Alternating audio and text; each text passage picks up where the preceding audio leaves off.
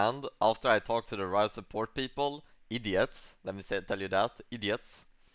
And then they said uh, they wouldn't they wouldn't unban me. Uh, then I said, yo, alright, I'm not getting unbanned, but at least can I have my name?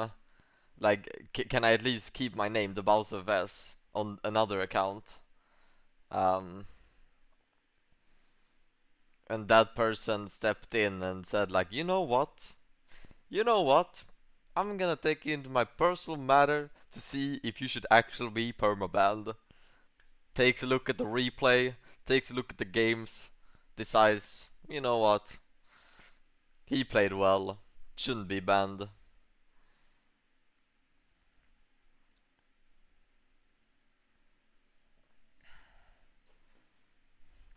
So here I am today. Here I am today.